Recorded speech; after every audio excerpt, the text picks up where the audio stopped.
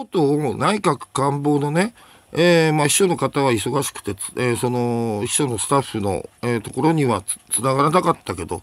まあ校長の部みたいなところがあって、えー、1時間ぐらい話をしました。で、そうですよね。せめて2日前に質問書を出してくれたら、そこまで検討できるのにっていうね、あの、お礼の言葉いただきました。で、もう一つ私の方からね、今の官僚の方皆さん若いから、えー、ある情報を流しておきました。えー、私1979年、昭和54年に大学に一浪して入った。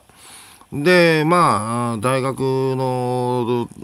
時の友達とか、まあ、高校の時の友達でね、えー、まあ、日本共産党の青年組織の民主青年同盟、民生に、あのー、こう、まあ、入りはしないけど、そういうところに行くようになったやつがいて、あのー、まあ、小沢も来いよって言われて行ったことがあるんですよ。全然違う場所でしたけどね、大学にも関係がない。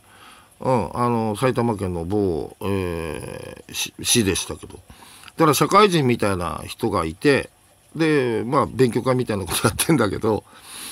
で、あの、まあ、長引くと、その人のアパートとか泊まったこともあるよ。だけどね、実は、えー、ソ連は日米安保を破棄すれば、千島列島全部を返還すると、えー、日本共産党に約束しましたと。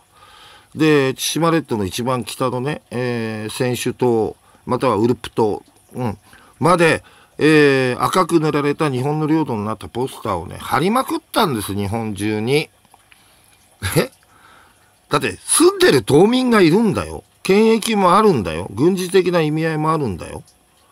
そんなことを実現できるわけないじゃんって私が言うと、いや、赤旗に書いてあるから正しいって言うんですよ。できるわけねえっちゅうの。ただし、あ、ただしで次の動画に行きます。